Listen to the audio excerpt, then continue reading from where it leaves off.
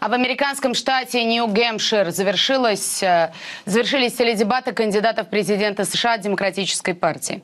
Участвовали в них Мартин О'Мелли, Берни Сандерс и Хиллари Клинтон. Темы обсуждали самые разные от оружейного законодательства до внешней политики Соединенных Штатов.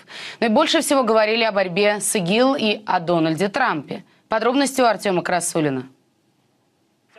Это уже третий по счету дебаты среди демократов. За прямой трансляцией, которую ведет телеканал ABC, следят миллионы американцев. На сцене колледжа Сент-Анселм, где в следующем году решится, кто из демократов будет бороться за пост главы Белого дома, три претендента. Экс-губернатор Мэриленда Мартин О'Мелли, сенатор штата Вермонт Берни Сандерс и текущий внутрипартийный фаворит, бывший госсекретарь США Хиллари Клинтон. На этот раз много говорили об экономике, реформе оружейного законодательства, но все же главной темой стала внешняя политика, а точнее борьба с ИГИЛ. У каждого из кандидатов, разумеется, свой взгляд на то, как бороться с террористами. У меня есть стратегия не сдерживания, а победы над ИГИЛ. Мы можем разгромить террористов без наземных военных действий. У моего плана три этапа. Во-первых, террористов надо вытеснить с захваченных территорий в Ираке и Сирии. Во-вторых, подорвать их глобальную сеть от Азии до Африки. И в-третьих, обеспечить безопасность на территории США. Примечательно, что все участники дебатов понимают, для эффективной борьбы с ИГИЛ необходимо сотрудничать с Россией. Принятые Совбезом ООН резолюции, по их словам, это как раз шаг в правильном направлении.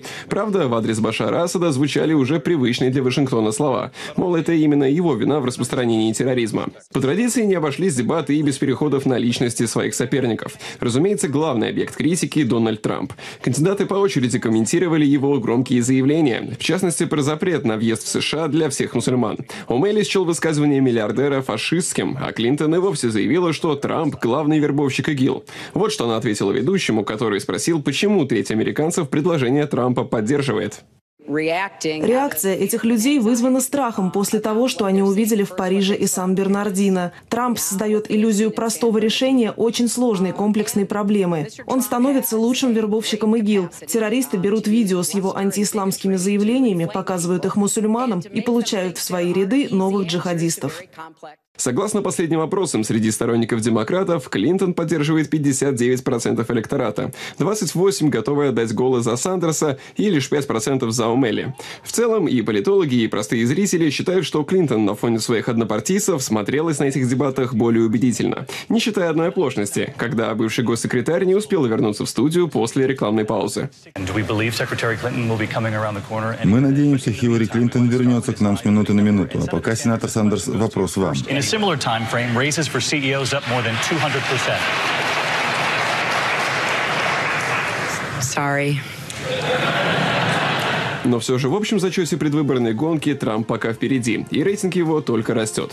Накануне он снова вспомнил слова Владимира Путина, который назвал его лидером компании. Если днем ранее он сказал, что это для него большая честь, то теперь он высказался в более привычном для себя эпатажном стиле.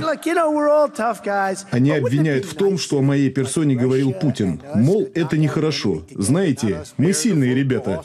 Но разве не было бы здорово, если Россия и мы вместо соперничества объединимся против общего врага? В Америке многие уже привыкли к этому противостоянию. Они говорят, а, Россия, мы не будем с ними сотрудничать и что-либо обсуждать.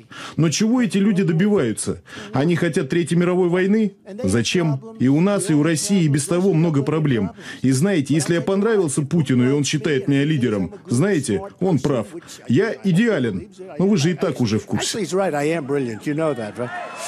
Вопрос о том, кто станет кандидатами демократической и республиканской партии на пост президента США, решат по итогам внутренних выборов, праймерис, которые пройдут в первой половине следующего года. По традиции, официальное выдвижение кандидатов состоится на национальных партийных съездах. Демократы соберутся для этого 25-28 июля в Филадельфии, а республиканцы на неделю раньше в Кливленде. Артем Красулин, Вести.